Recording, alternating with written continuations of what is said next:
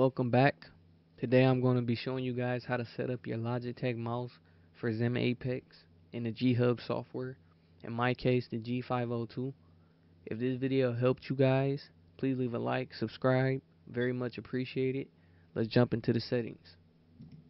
So in the G-Hub software, when you click on your mouse, you're going to see three categories. Light sync, assignments, and sensitivity. In assignments, this is where you will set your buttons. I have a pretty simple layout here. This button is 1, this button is 2, the left tilt is 3, and the right tilt is 4. The top middle button is 5. Now if you look here, there's the arrow. You can now customize the side buttons. The thumb button is 6, and then we have forward and back. Now all of these buttons I have laid out here currently are working with XIM Apex. So now I'm going to show you guys how to change these buttons. So if you click here, you actually can come over here to commands or keys and you can select any of these buttons here and it will remap to that button. So zero, zero, or circle. I recommend using numbers. Set it back to one. One. So let's head over to the DPI. Now here in the DPI you can actually set up to four or five uh, DPI selections. So I only use one DPI selection, the maximum. I have the polling rate at a thousand and then you hit assign to your mouse. Now after you do that, you want to make sure these settings are correctly loaded onto your onboard memory for your mouse. So when you use XIM Apex, you are using the right settings.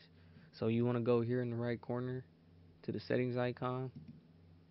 In here you can turn on onboard memory mode. Now this is how you update the onboard memory.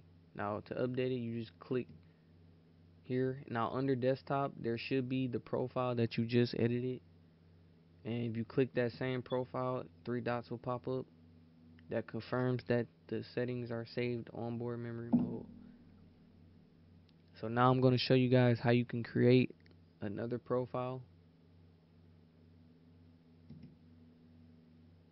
you want to turn that off you want to go back to the home of the G Hub software and at the top you will see active profile now in here you can view the details of your current profile. So let's check it out.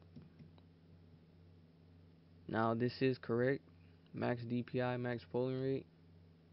You can also delete profiles here and change the name of your profile as well.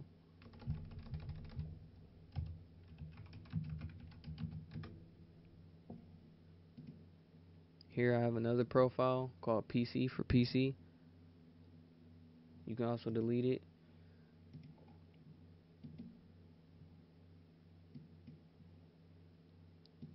That pretty much covers all of the settings you will need to know about for XIM Apex. Now, if some of you may be wondering about the setting called calibration, for some newer Logitech mice, the setting calibration has been removed. The sensor actually automatically calibrates itself to your mousepad.